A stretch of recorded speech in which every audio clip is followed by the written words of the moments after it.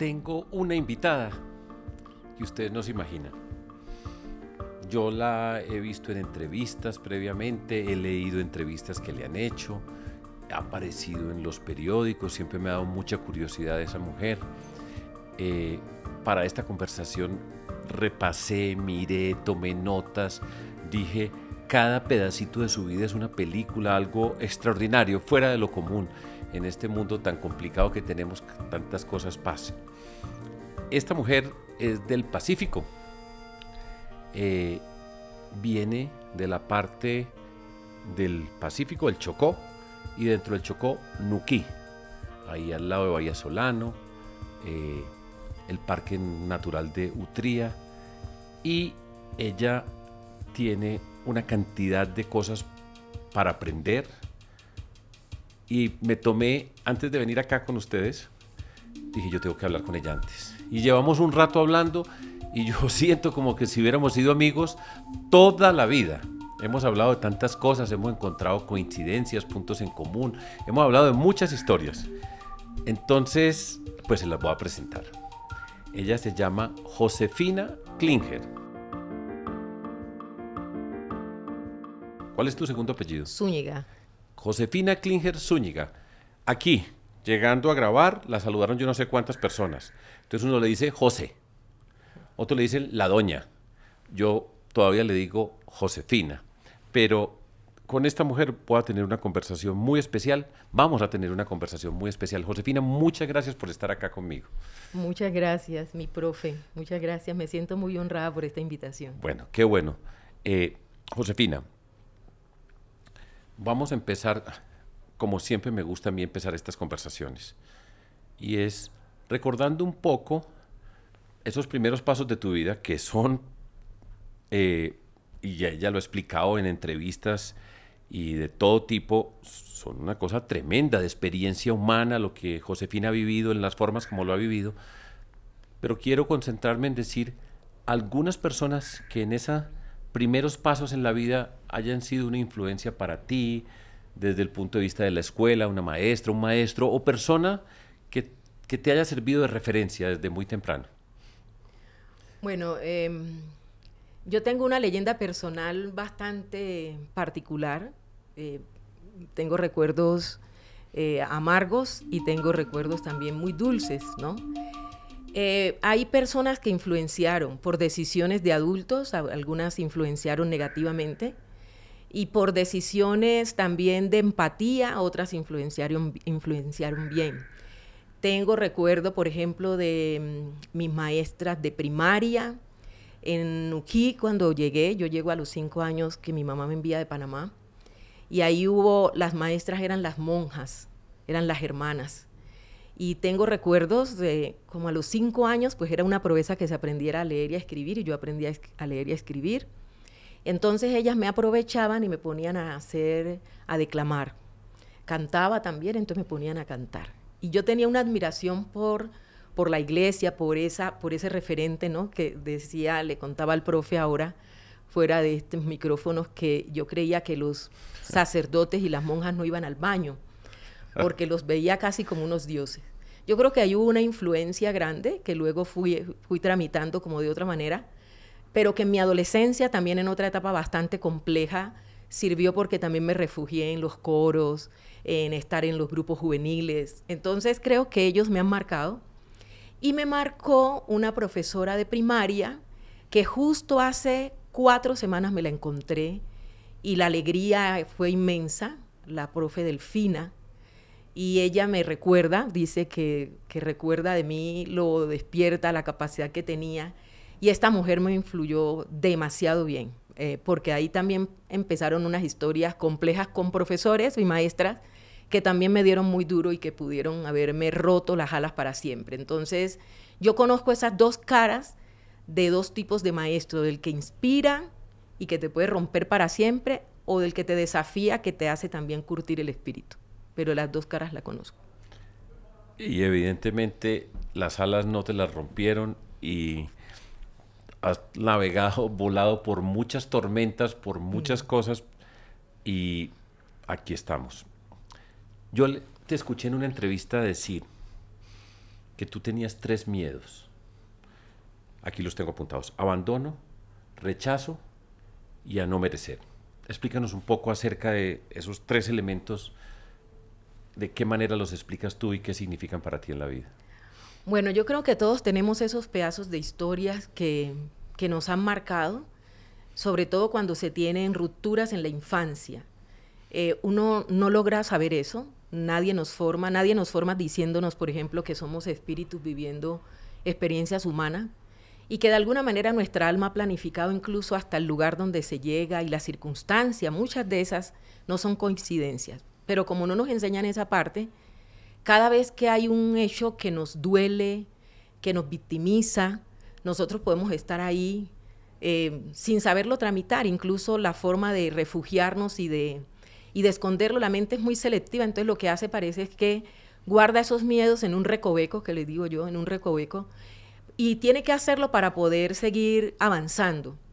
Pero un día, pues para poder decir ahora que esos miedos son mis tres miedos, tuve que pasar por más de 40 años de atreverme, eh, como digo yo, tejer y destejer, chocarme una y otra vez, eh, sacar esos miedos profundos y a, través de, del trabajo que hago. Yo creo que, que el trabajo que he hecho de trabajar por la comunidad fue una forma de canalizar uno de sus miedos o de canalizar los tres. Yo vivo en una comunidad privilegiada, pero una comunidad que está llena de miedos, el miedo al rechazo, el miedo a la escasez, y yo puedo decirlo hoy de esa manera, pero inicialmente yo creo que yo tengo el recuerdo amargo de la separación con mi mamá cuando me, manda para mi papá. Entonces, ese es un eso se ancla tan profundo que todo el resto de la vida tu niña interior sigue llorando por lo mismo pero pues tienes que decirle que ya, que ya creció, pero eso se dice muy teóricamente, pero en la práctica cada vez que yo me encaro con esa misma circunstancia, pues se me vuelve a activar ese miedo. El otro miedo fue el miedo al rechazo. Yo no me acuerdo que haya habido cosas pensadas para mi bienestar. Eh, posiblemente no tanto porque la otra persona lo quisiera hacer, pero era también por su circunstancia. Finalmente todos damos de lo que tenemos. Y ahí yo siento que me fui a una comunidad que todavía rechaza. Entonces todavía digo, o lo supero y lo tomo por otro lado, o todavía me voy a tener que sentir chocada por él. Por él. Y hay un miedo que tampoco sabía que lo tenía y era el miedo a no merecer. Y en eso sí ha sido una de mis mayores escuelas porque yo tengo hoy eh, como unas cosechas alrededor de lo que he hecho, de que la gente diga lo que ha hecho ha contribuido a su comunidad, ha contribuido al país. Pero tengo un pendiente con Josefina Klinger que me cuesta, es lo que más me está costando. ¿Cómo hago para atender a Josefina Klinger? ¿Cómo hago para merecer? ¿Por qué? Y además comprometí el, futuro de mis hijos de alguna manera. Si yo focalizo en que eh, me consigo un puesto, hago una universidad, eh, subo, dijéramos, mi, mi, capacidad, mi poder adquisitivo y hago un proceso para mi propia familia, posiblemente no habría arrastrado a seducir a una comunidad también a crear un modelo. Entonces, en ese aspecto tengo cosecha, pero también tengo una cosecha y es un pendiente conmigo misma. Y es el que más me está costando, pero cuando reviso y digo, bueno, yo tengo el libre albedrío, yo decidí canalizar mi temor a partir de ir a desafiar los miedos ajenos, eso me sirvió para ir canalizando mi miedo. Para, para, concluir, yo creo que todos tenemos miedo.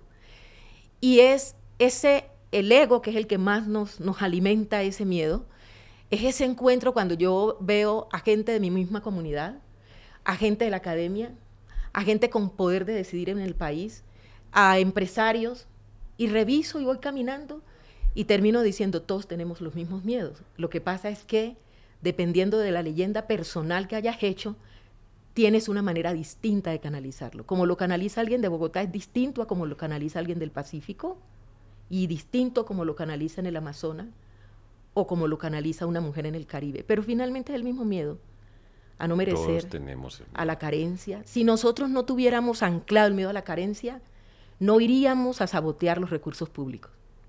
La gente que se roba los recursos públicos y mete la mano ahí, las manosea, es una persona que tiene anclado el temor a que el universo es escaso. O sea, ahí se origina. Yo tuve que entender eso para poder avanzar. Gracias, Josefina.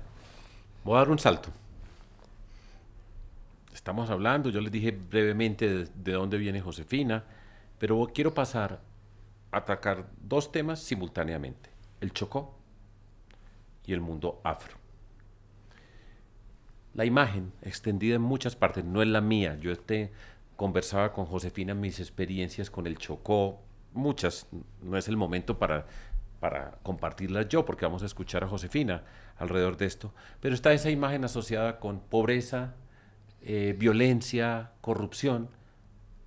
Háblanos un poco de ese mundo Chocó, que yo creo que es el lugar de Colombia más afro de toda Colombia. Cali es la ciudad que tiene más afros, pero pues Cali es una ciudad de dos millones de habitantes. Pero el Chocó es un mundo afro. Sí. Cuéntanos un poco acerca de qué es, qué es el Chocó. Bueno, desde el punto de vista más trascendental, el Chocó es un sitio de luz, indiscutiblemente. Yo creo en la reencarnación y creo que los espíritus que encarnamos ahí, encarnamos con una misión, el problema es que estamos asustados y estamos asustados porque a nosotros nos dijeron alguna vez que no teníamos alma, ¿no? Y esa, ese adoctrinamiento de repetirlo y repetirlo, yo creo que no, se nos ancló. Y digo eso porque, eh, ¿qué ha marcado la diferencia en que yo pueda hoy tener esta imagen del Chocó como un sitio de luz? Que tuve que desmarcar esa creencia. Y para desmarcarla no se hizo desde la academia, no. Se hizo desde una relación profunda de buscar respuestas adentro porque eh, en un episodio de una enfermedad muy grave, cuando preguntaba al mundo espiritual por dónde estaba la resistencia de un trabajo que llevaba ya 10 años, eh, ahí tuve una revelación en dos sentidos. Y es que yo estaba haciendo el trabajo desde la reivindicación material, etnia, género, eh, ubicación geográfica, estrato social. Yo quería la reivindicación de mi comunidad y se me dijo que lo tenía que hacer de manera más profunda porque era desde el espíritu. Y yo decía que si yo asociaba la espiritualidad con la religión y ya hace rato me había separado de la iglesia de esos, de esos momentos felices, eh, estaba cuestionando muchos comportamientos. Entonces, eh, no sabía por dónde lo abordaba y me empezaron a llegar libros, personas. Es como si el universo empezara a vibrar en otra frecuencia y te fuera empezando a llegar por ley de atracción otras cosas. Y la otra recomendación es que lo tenía que hacer con una nueva generación porque le costaba mucho, nos cuesta a los adultos desaprender. Con esos dos mandatos o esas dos revelaciones, yo, yo empecé a enfocar distinto mi manera de ver la desventaja del Chocó. Entonces el Chocó es un territorio que a nivel material contrasta de una riqueza inigualable, de una naturaleza que se recupera. ¿Cuántos años lleva el Chocó haciéndole minería? y se vuelve a recuperar. Otra que quedó enferma, pero finalmente, ¿cuántas, cuántas acciones hacemos de agredir una, una selva con dos mares, aguas en todas sus manifestaciones y una gente increíblemente bella y extraordinaria que finalmente tienen el ancla, ese imaginario de pobreza? Y, como yo tengo ese imaginario de pobreza de mi propia valía, por ley de atracción el, resto me ve así. Y nosotros somos un país maleducado, un país que, que se forma con una lógica, eh, un país que tiene una responsabilidad compartida en todos los niveles. Entonces yo aprendí a ver el Chocó desde la dimensión más espiritual y digo, por ejemplo, Quito debería ser la capital de la biodiversidad. Eh, el Chocó es la única reina mal vestida, mal arreglada, violentada, que abre los brazos y toca dos mares y que por sus piernas pasa el río Atrato y que le caen todas las formas de agua y de, toda, y de vida. ¿Qué pasa ¿Dónde está? Era salir a quejarme, era no empezar a buscar la responsabilidad dentro, era no levantarme del sofá de víctima y pensar que aquí había una responsabilidad compartida. Puede ser que sí, van a seguir habiendo hechos victimizantes, pero ¿qué es eso que hace que esa mirada se aleje tanto? Y la respuesta no vendrían de afuera, no, no, no, afuera hay sesgo. La respuesta era desde adentro para nosotros empezar a sanar los sesgos. Eso significa pues un proceso de introspección, como tú dices, esto te tomó años y... Total. Eh, no fue pues una epifanía que un día te levantaste y ya mirabas el mundo de otra manera, sino un proceso de transformación interior para llegar a entender todas estas cosas. Y eso no te llevaba a un choque con una comunidad que, como tú dices, empieza desde hacerles sentir que no tienen alma en ese hasta ese sentido de la pobreza y descubrir, decir, no, es que yo no soy pobre, entender esa riqueza. Eso, ¿cómo, ¿Cómo ha sido tu proceso para, con esa comunidad? Cuando tú descubres y vas encontrando todo esto, esa comunidad, ¿cómo reacciona y cómo la sientes? Bueno, eso es muy difícil porque efectivamente no ocurre en un día, es un proceso. Entonces, muchos hechos, ya luego de mi, niñez, mi adolescencia, quedo en embarazo a los 17 años, me veo obligada a regresar a Nuquí, conocer a mi mamá, que la volví a ver justo cuando iba a tener mi primer hijo, y todo, todo era muy hostil.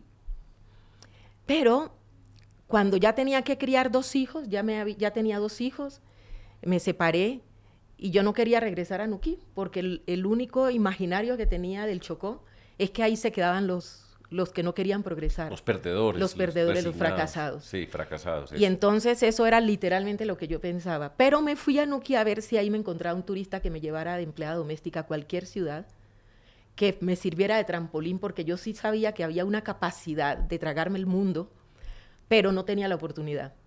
Entonces me fue cambiando la mirada a medida que encontré posibilidad en el territorio. Entonces se estabiliza mi economía y empiezo a ver el mar y empiezo a ver, sobre todo los niños, me empezó a inspirar el liderazgo. Y me doy cuenta que yo tenía una farmacia que me había, había hecho un negocio ahí con una persona que marcó también mi vida en ese momento y, yo dejé esa farmacia porque además la regalaba. Si alguien llegaba con, buscando el medicamento, yo terminaba regalando. Entonces yo dije, yo no sirvo para empresaria definitivamente. y yo no me puedo ir aquí sin ayudar a resolver el problema de los niños. Entonces yo cogí, por los primeros pleitos que tuve fue con el magisterio. Y luego no me sentía representada en el liderazgo, Ahora vamos a hablar del en el liderazgo político. Y esas cosas me hicieron mover más hacia esa orilla. Pero la gente se levantaba contra mí porque además a, los 26 años, 27 años, fui concejal, yo tiraba la verdad en la cara. Yo sentía por mi edad y por lo beligerante, uno con los años va cogiendo sabiduría, se va aplacando, se va a tener que calmar, o lo aplacan a uno. Pero ahí yo sentía que tenía la verdad revelada. Diez años me da la enfermedad, pero en esos diez años justo esa era la pregunta, ¿dónde estaba el problema? Y el problema era en esos miedos. Y además porque siempre crees que las respuestas no saldrán de aquí. A nivel individual nosotros creemos que la respuesta está en el amigo, en la televisión, en mm. la pareja, en lo que está afuera. Y te tienen que remitir a tu ser interior para buscar respuesta. Y a nivel colectivo la gente no concibe que del mismo lugar alguien se atreva a tener respuesta. Entonces, mucho más fácil, profe, si usted va a Nuquí, y tira todo su argumento que si lo pongo yo. Porque yo tengo... Porque tú eres de esa comunidad. Soy de esa comunidad. Y ese ha sido mi mayor reto. Cómo poder promover que desde adentro salen las respuestas, que usted no es sino un aliado. Tienes que trabajar todo el tiempo con tu ego, porque habiéndote encontrado tú misma y saber lo que significa y ver lo que pasa alrededor que no responde, que no entiende, eso te obliga a ser humilde, te obliga a muchas cosas. Pero el ego me da muy duro porque yo todos los días hago acuerdo con él. Mire, yo hago un trato con él en las mañanas. Yo le digo, bueno, usted no se va a meter hoy. Hoy el protagonista hace el corazón. Y resulta que apenas tengo el primer encuentro y desencuentro, sale a saltar este ego y ahí digo, vuelvo a pelear. Entonces es un constante, un constante ir y venir. Pero hay una cosa bien especial. Y es que posiblemente lo que lo que me pone y me convoca es a sanar el rechazo. Porque cada vez que yo estoy con estas acciones, que le hemos logrado, no puedo decir que no se ha logrado, con estas acciones, yo lo que encuentro es rechazo. Y fue Nuki, Nuki ha sido mi mayor maestro, porque es el atrevimiento de encarar todos los días los tres miedos. Tremendo.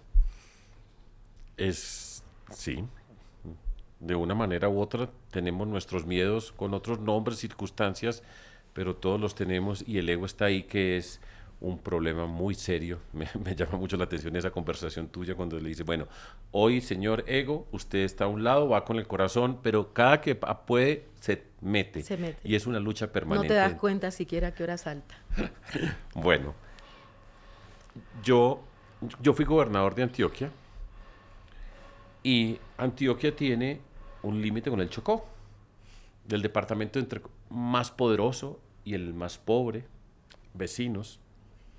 es una historia difícil en muchos sentidos, pero sobre el río Atrato, que es una belleza. Yo recuerdo cuando estudiaba en el colegio los ríos. Mm. Una de las cosas que yo he tenido en la vida, la fortuna de recorrer a Colombia y cada que llegaba a un lugar decía, por favor lléveme al río, porque yo me acuerdo de niño dibujando los mapas y, y hacer el río. Entonces siempre me llamó mucho la atención los ríos. Allá estamos al lado del río Atrato, que me acuerdo que repetíamos, el río más caudaloso del mundo. Mm. Era el río Atrato y desemboca en el Golfo de Urabá. Eso repetíamos nosotros en nuestras lecciones. Y Antioquia tiene un pueblito sobre el río Atrato, enfrente de Bojayá, que todo el mundo conoce en Colombia por una tragedia dolorosa.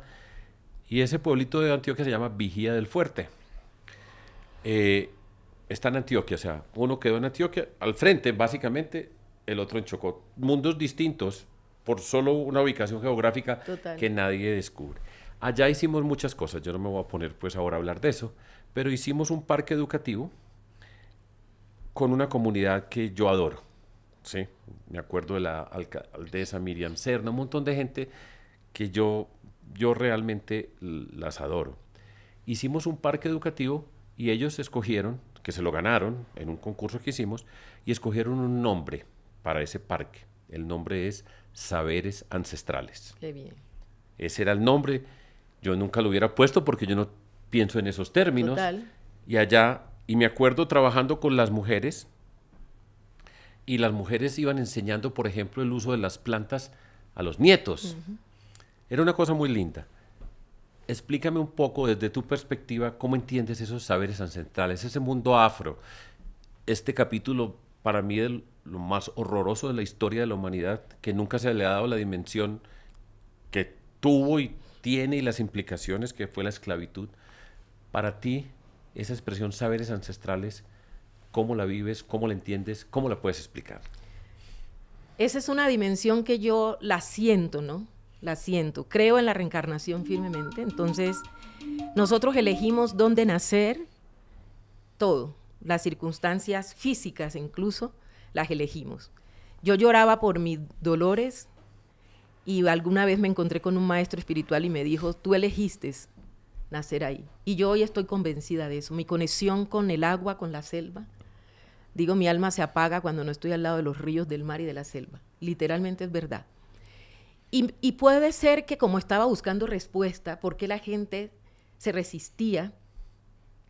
Pero ¿por qué había una información que si bien me dolía y me adoctrinó a creerme miserablemente pobre por un tiempo, hasta que mandé la pobreza para el carajo, como digo, ¿por qué otra me conectaba tanto? Y creo que Colombia tiene un pendiente que es un activo social que no está capitalizando y es el saber ancestral, de cualquiera de las culturas. Hay una información que se rompe de alguna manera cuando todo se formaliza, una relación con el territorio. Yo tengo que sobrevivir en un territorio agreste. O sea, nosotros no estamos en el Chocó porque alguien decretó que deberíamos estar allá, estamos por circunstancia para refugiarnos en un territorio inhóspito. Y ese territorio que no valía para nadie, que era inhóspito, pues resulta que estamos en una joya. Entonces, cuando yo empiezo a entrarme a la minga, al trueque, a la forma de dirimir los conflictos, a la información que la gente sacaba de la lectura con la naturaleza, a la forma como hacían sus viviendas, a la relación con el río, a esa información que posiblemente venga desde África cuando nos trajeron, a esa resistencia que hubo. Yo digo que ahí estaba la información verdadera que luego se desdibuja con la formalidad de los pueblos. Llega la política, llega la institucionalidad, llega la educación formal y eso lo barrió entonces una práctica como la minga, donde había una dignidad a prueba de fuego, y era cómo vamos a resolver el tema del aeropuerto para el caso de Nuquí que se hizo en Minga. Yo tenía seis años y me acuerdo, me marcó hasta hoy, de ir con mi vasija de acuerdo a mi edad y mi tamaño, ayudar a sacar el barro de lo que hoy es la pista, para, para allanar una pista que entrara por primera vez un avión. Eso lo hizo un líder. Y, el aeropuerto hoy no se llama como el líder, se llama como el político que luego buscó los recursos en la ¿Cómo se llama el líder? Em, em, em, ¿cómo se llama? era de apellido Mosquera, se me fue ahorita el nombre. No importa. Después si y se llama como el político. ¿Qué pasó que la gente no reconoce al líder de a pie, al que estuvo allá, y le da todo el honor al parlamentario que, que además era responsable que buscara los recursos? Porque nosotros nos empezaron a decir, los mismos adultos, que su saber no era válido, que su saber era culpable de su empobrecimiento. El empobrecimiento no era responsabilidad del saber, fue desconocer el saber ancestral. Porque si usted revisa qué tenía de bueno el, saber ancestral, tenía valores y principios. Tenía el reconocimiento del bien común. La minga es una apuesta de bien común donde yo pongo lo que tengo, ¿sí? Para solucionar cuellos de botellas para el mejor vivir. El trueque es un intercambio de pares donde yo cambio pescado por plátano, que se usó también, porque el, dinero no era el circulante, no, había, no, había, no, circulaba. Entonces el dinero no era el mediador. Y el mano cambiada, donde tomo yo el nombre de mi organización, porque en última lo que yo quiero honrar es ese legado que tiene una connotación profundamente poderosa y es que la humanidad va a tener que volver a entender que el dinero no es el único mediador de la relación cuando ese tejido ancestral, esa información ancestral se rompe, el Chocó empezó a vivir su tragedia. Entiendo, nunca había escuchado esa explicación en estos claro, términos. Claro, empieza a vivir su tragedia porque hoy la gente dejó de lado los valores y principios como estos y puso al dinero como el príncipe. Y entonces los mismos papás, al ver, le dicen a sus hijos que pescar, para el caso de nosotros a orilla del mar, y que sembrar lo haría pobre, que lo único que lo podría sacar de la pobreza era la educación. Y eso era una recomendación genuina, pero mal interpretada, porque la educación hoy se nos volvió en muchos casos un salvoconducto para ir a sentirse de mejor ciudadano porque tuvo la posibilidad de salir. La gente recorría, para el caso de Nuquí, 15 días por el Baudó para salir a Quibdó y graduarse. Una vez se graduaba la mayoría de maestros, se fueron a ser los mejores maestros. ¿Qué pasó?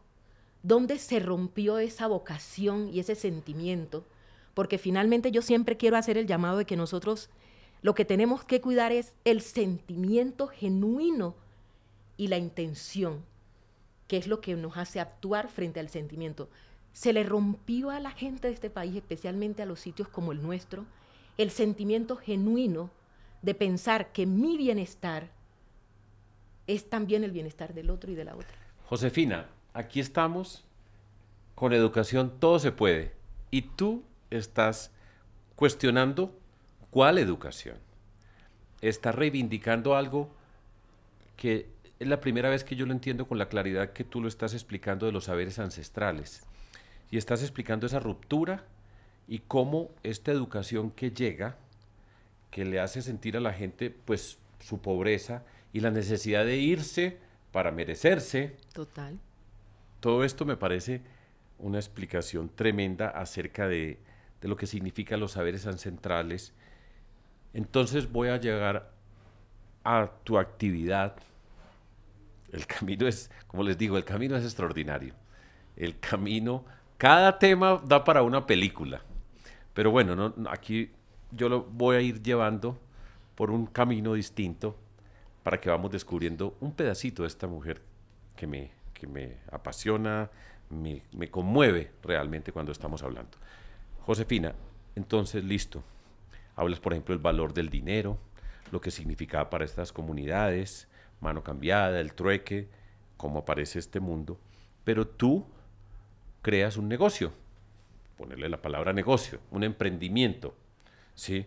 Y es, tú llegas y haces en, en la bahía de Utría, ahí en Nuquí, Bahía Solano, en ese espacio mágico, yo estaba allá, una vez fui a ver ballenas, y en ese lugar tú creas un emprendimiento donde dices, esto es una experiencia, la selva, el agua y en la cultura afro. Y entonces dice, aquí ya tenemos un turismo distinto, un modelo de negocio distinto. Y después de todo dices, esto del turismo es una estrategia, porque lo que nosotros vamos es a construir un modelo de desarrollo diferente.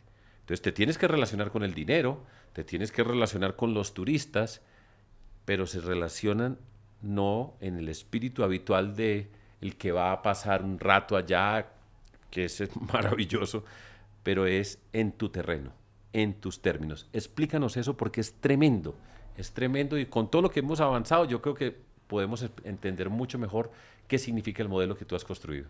Bueno, imagínense que nosotros teníamos un gran desafío. Cada acción que ocurría eh, eh, a nivel político, yo seguía preguntándome la educación sin contexto, yo seguía preguntándome la forma de ejercer el poder, qué era eso que nos, que nos hace distraernos del propósito cuando tenemos el poder. Debía ser muy molesta para el poder. Sí, soy muy, fastidiosa, porque con una persona que hace esas preguntas fastidia a los que tienen el poder que quieren. Sí, soy muy molesta con el poder porque además tengo libertad.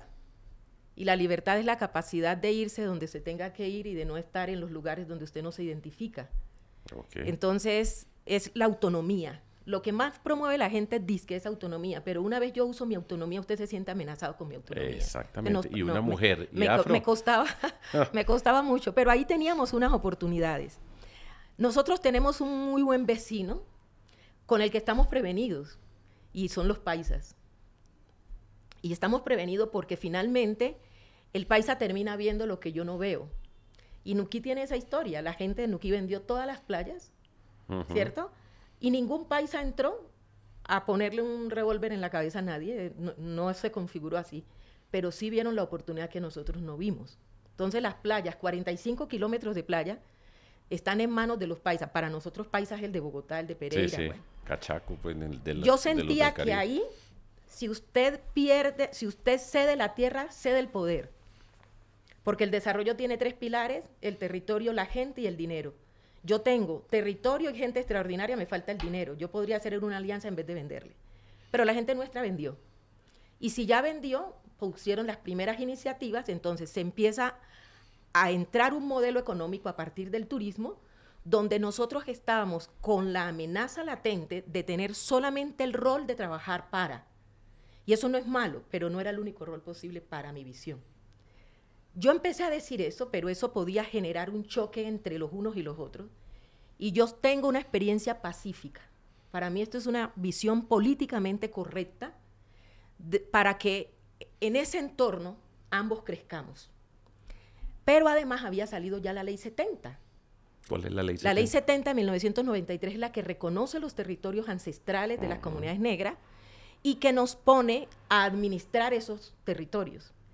Pero yo veía que nos hemos quedado, o se han quedado, en la contienda más política, en el en usted me debe, yo le debo, en usted no lo está haciendo bien, y en alcanzar temas muy políticos. Y yo por eso a veces me describo como una artesana social porque yo termino poniendo a funcionar en el día a día lo que usted tanto está soñando. Yo digo, ¿quién lo va a aterrizar? Tenemos que aterrizarlo. Nosotros teníamos que rentabilizar el territorio, porque si no rentabilizamos el territorio, pues los jóvenes no se van a quedar, la gente se va a ir y se va a seguir vendiendo la tierra. Dos, a eso había que hacerle un modelo, el, el modelo económico, bajo la lógica de la minga, de los valores ancestrales, donde todos ponemos y todos podemos ganar. Había que hacer ese modelo con esas aristas.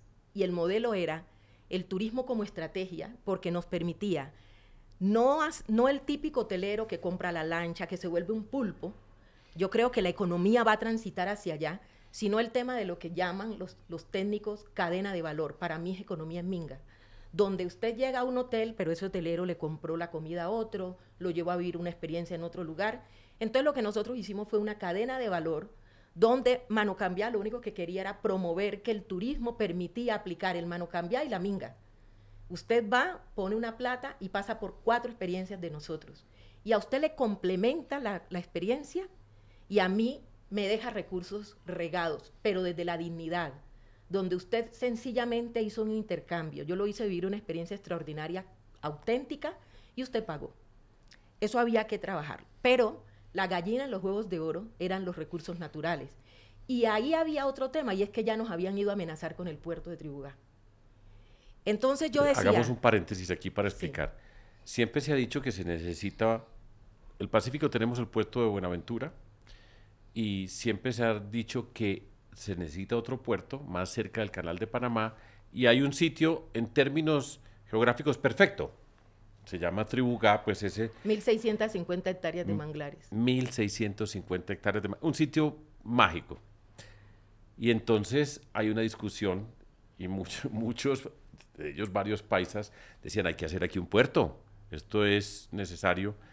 Y la comunidad, yo particularmente estaba en desacuerdo, estoy en desacuerdo con tener un puerto ahí por la riqueza que significa lo que nosotros tenemos allá. Pero sigue pues que hacía esa Pero si esa riqueza que está ahí, que yo crecí escuchando ese discurso, que, como digo yo ya me tenía mamada. Sí. Porque no cambiaba Perdón que haya repetido aquí, pero... No, y perdón que ya diga mamá en este, en este micrófono. No, no, se puede.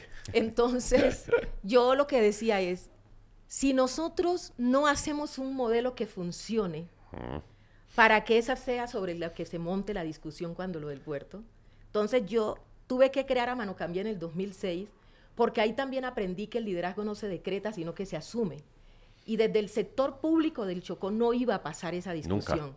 Entonces yo dije, perfecto, me fui, creo, a Mano Cambia junto con otros líderes y empezamos, pero mi foco era hacer un modelo económico para que estuviera en el centro de la discusión. Y la discusión, que es muy habitual en este país, se lleva al ámbito personal. Entonces, si tuve dos maridos, me dicen que tuve cinco y que eso es inmoral, entonces los que los que crean, sean moralistas, ya no me quieren. Les digo, la discusión no se centra en quién soy, qué hice, no, la discusión se centra en el modelo. Y es que para un modelo de desarrollo sostenible, donde son servicios ambientales, con gente extraordinaria que le agrega valor con su cultura, pues el puerto no es el equipamiento, porque el equipamiento tiene que estar consecuente con la visión. Y yo descubro que es raro el pueblo de este país rural, periférico, eh, que tiene una visión de desarrollo creada. Pero sobre una crisis que estaba aquí, yo sentía pasos de animales grandes. Y yo explicaba, además porque me vuelvo monotemática, volví a explicar, me despertaba revelada, como digo yo, con información que yo decía, por aquí me meto, y empecé a creer que eso se iba a hacer bajo el acondicionamiento de la asociatividad. Pues en un pueblo donde la gente se cree pobre, la asociatividad no progresa, porque la asociatividad es una organización política que funciona cuando yo ya he resuelto mi problema personal y familiar. Entonces teníamos que crear el modelo y el modelo tiene una arista económica, tiene una arista ambiental, tiene la otra arista cultural tiene una muy importante que es la generación de relevo, por el cual hacemos el festival. Si yo no formo a una generación, si yo dejo que mi hijo crezca y los niños de mi barrio crezcan con el mismo sentimiento de que haber nacido en el Chocó es una desgracia, de que todo lo tengo pendiente, de que nada es posible, de que soñar no es posible, seguramente voy a vender ese territorio y voy a decirle al puerto que no. Pero si yo lo marco a él sabiendo que lo mejor que le puede pasar es nacer en medio de esa diversidad, que hoy en el planeta cobra más sentido, en el mundo cobra más sentido.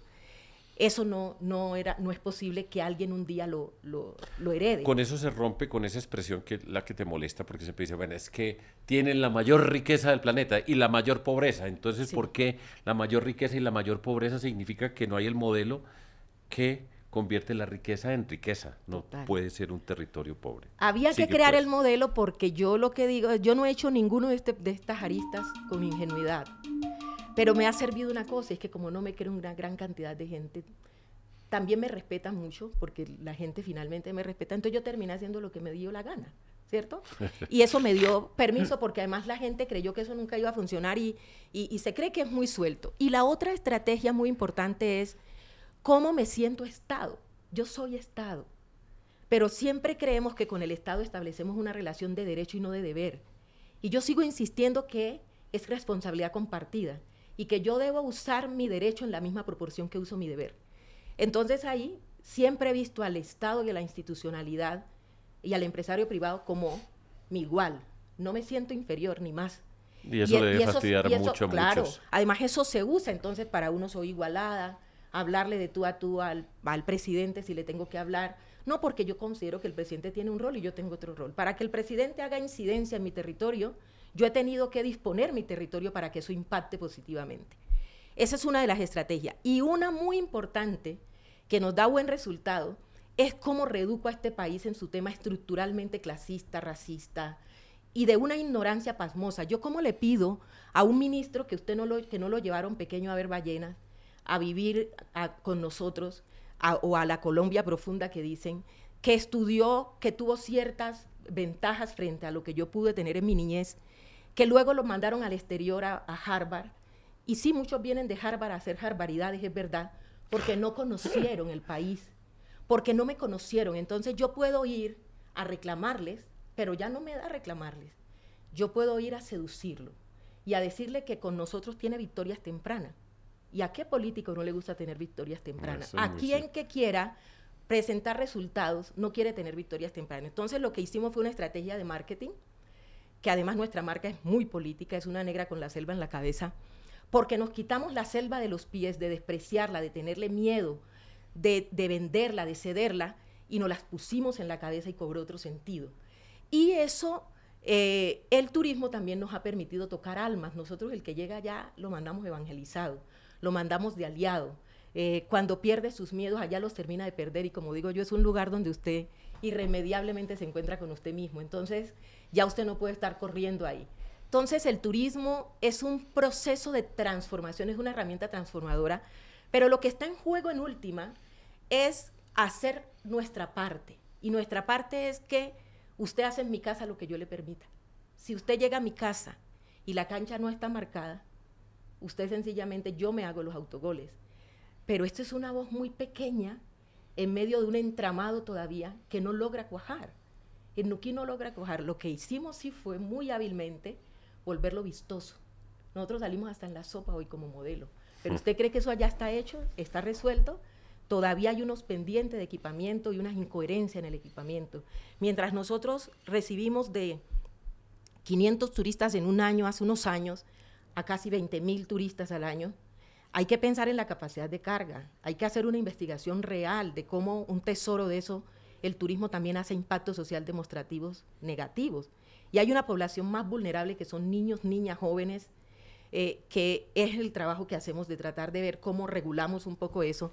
Pero además hay un pendiente, no quise sigue alumbrando, alumbrando con plantas diésel como un, como un, destino de turismo de naturaleza mm. todavía tiene plantas diésel. Mayor contaminación no puede Como un pueblo como Nuquí todavía entierra las basuras en la playa y cómo esas soluciones no las acompaña una instancia que es el Estado y los privados. Es decir, si en esta transformación los privados y el Estado no trabajan en alianza con las comunidades donde hay pendientes, eso no, no se transforma. Josefina, voy a hacer un paréntesis acá para que entremos al último segmento de, esta conversación, que puede ser infinita. A usted le dar mucha envidia porque yo he tenido la oportunidad de conversar con ella y apenas terminemos de acá, yo la voy a invitar a almorzar si quiere y, y seguiremos conversando. Pero quiero hacer esta reflexión. Para ustedes, no sé si algunos han tenido la oportunidad, espero que muchos, y si no, la tienen porque esto es un video podcast y ahí está el capítulo. Nosotros tuvimos un episodio con David Vélez. David Vélez es el empresario, emprendedor colombiano, antioqueño, de origen antioqueño, eh, que creó el llamado Nubank, que es un banco que no tiene sedes, no tiene sedes físicas, todo digital, y arrancó de cero, hizo un tremendo emprendimiento y hoy puede ser la persona más rica de Colombia. Muy bien. Y ahí tiene usted este señor emprendedor, extraordinario, nos contó la forma, cómo hizo su emprendimiento y, seguro que aprendimos muchísimo. Y hoy tenemos aquí a esta mujer, la mujer afro del Chocó, ahí al lado de Antioquia, que ha hecho un emprendimiento, es una tremenda emprendedora, un emprendimiento que ustedes han podido escuchar lo que significa, lo que pretende, la manera como construyó todo eso. Y el mensaje a mí me, parece muy emocionante, ¿sí? Y como seres humanos tenemos unas capacidades que, me, que, yo creo que son, pues, que, que, van mucho más allá de lo que nosotros podemos imaginar. De acuerdo. Y entonces tenemos el, el empresario más rico de Colombia y la mujer más rica de Colombia probablemente, o una de las más ricas, ¿sí? Fíjense ustedes, aquí por este espacio han pasado dos riquezas que nosotros tenemos enfrente. Bueno, Josefina, tenemos que pasar al último capítulo. De esto hablamos también anteriormente. Vamos a hablar de educación en el sentido formal. Ya tú lo has mencionado, has tocado un poco acerca de la educación, la educación que te tocó, lo que tú has visto con los eh, niños jóvenes, la educación que llega allá y entonces para poderse destacar hay que irse. Hablemos de tu opinión, ¿sí? Esta es una mujer que conoce de, qué va a hablar y nos va a hablar de la educación rural. Cuéntamelo, cuéntanos lo que me contaste a mí. ¿Cómo lo ves tú? Porque tiene una posición muy clara muy contundente acerca de lo que significa esa educación rural y los vacíos y deficiencias que ella ve. Por favor, explícanos. Bueno, este es un tema que todavía el alma se me arruga. Mm, justo yo eh, empiezo este, esta tarea a partir de ver el modelo, el modelo educativo. Entonces yo tengo una frase muy dura y aquí no es que no honre a esos cuantos profesores que lo hacen muy bien, Em, a mí me marcó la vida una profesora, me enseñó a leer y a escribir bien y con eso me, defendí. ¿Te acuerdas del nombre de ella? De ella hablamos un poco em, al comienzo, pero Al comienzo la profesora Delfina. Delfina. Eh, la profesora Delfina. Y, y, yo creo que la educación rural hoy es la fábrica de pobre que ayuda a empobrecer más esa ruralidad. Los niños que se destacan y los jóvenes que se destacan en la educación rural tienen condiciones excepcionales entonces son extraordinarios, cuando lo ordinario debería ser que todos salieran con muy buena educación. Y una de las primeras fallas para mí es que mientras en este imaginario colectivo de país hayan zonas de castigo, visto, pesa mucho la imaginación, los pensamientos pesan mucho. Entonces nosotros vemos hoy cómo la educación, especialmente toda, pero la rural, los políticos tradicionales le metieron la mano ¿Qué quieres decir con eso? Que hoy un docente no está a veces en los cargos por cualidades excepcionales, porque en la ruralidad se necesita que tenga cualidades excepcionales, eh, porque es el único que llega allá. Pero uno ve cómo un docente se puede quedar encerrado en su casa eh, urbana una semana sin ir a la ruralidad a enseñar, y esa semana el niño la perdió. Yo, hay un tráfico, incluso profesores que pagan para que no los manden a la zona rural y ahí hay un clientelismo grande. ¿Qué pasó que eso se desdibujó cuando el Chocó tenía los mejores maestros y exportaba a los mejores maestros? Yo soy resultado de una buena maestra. ¿Qué pasó? ¿Dónde está? Y está en el imaginario que me pesó mucho a mí que tuve que romper. Y es que quedarme allá me condenaba al fracaso. Entonces, sin darse cuenta, eso se está repitiendo. Dos, la guerra ha hecho una mella terrible y es que hoy usted puede, se, sigue imaginando que el docente y docentes que tienen 20 años enseñando lo mismo a unos niños que hoy tienen otra información desde que nacen. Y entonces ahí también hay un tema de incompatibilidad y de antipatía. Si usted me pregunta, a mí tienen que pasar dos cosas. La educación se tiene que volver, el docente tiene que volver a inspirar. Porque a mí puede no gustarme la materia, pero si el profesor me inspira, me termina gustando la materia y me acuerdo de eso. El profesor tiene que inspirar y el profesor inspira cuando recupera nuevamente sus valores y sus principios. Y un valor innegociable es la búsqueda del bien común. Como yo tengo que resolver el problema de trabajar para mandarle a mi hijo la plata a la universidad como docente, la mayoría de esos docentes viven con dificultad también, porque les toca trabajar, por necesidad les tocó el territorio donde se quedaron, no quisieran quedarse, por, eso usted ve que un docente apenas se jubila, compra un apartamento en Medellín y se viene a vivir a Medellín el mensaje es contundente, el mensaje es que me quedé ahí por la necesidad. No es lo mismo cuando me quedo ahí por autodeterminación. Hmm. Esa falta de autodeterminación de quien me va a instruir a la niñez va a pesar demasiado porque los niños y los jóvenes serán, y sobre todo cuando ya esté ciudadano, siempre voy a decir, será una réplica, será una versión mejorada de lo que hayamos hecho los adultos y le hayamos inculcado de manera correcta o incorrecta.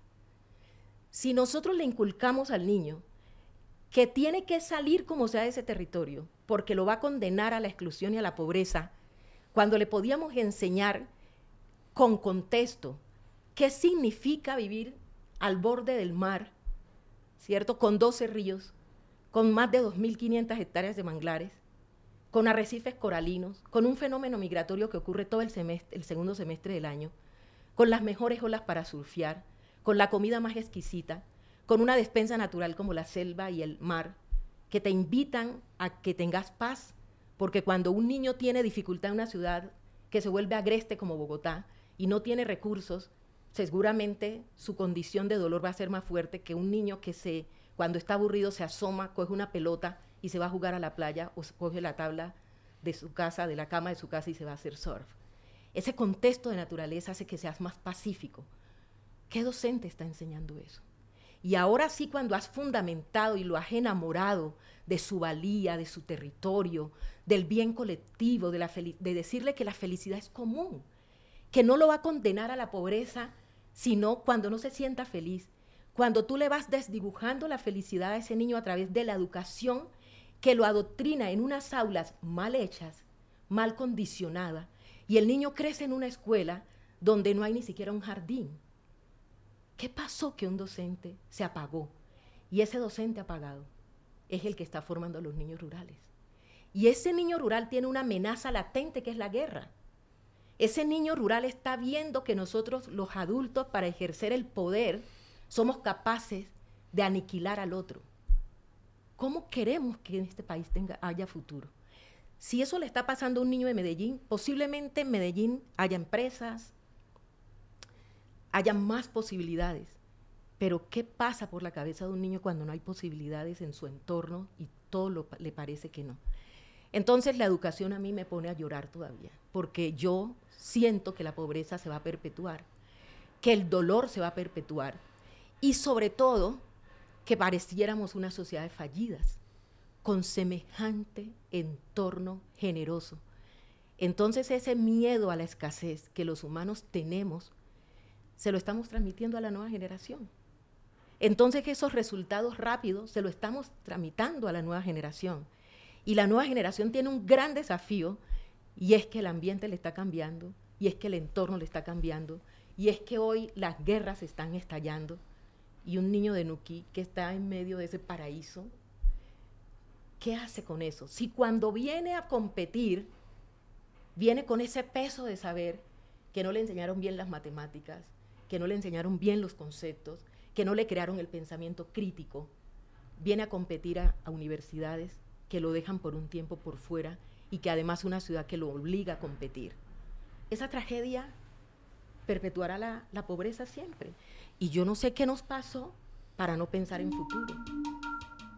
Yo soy de acuerdo que uno debe vivir el presente, pero lo debe vivir con tanta conciencia que prepare un mejor futuro.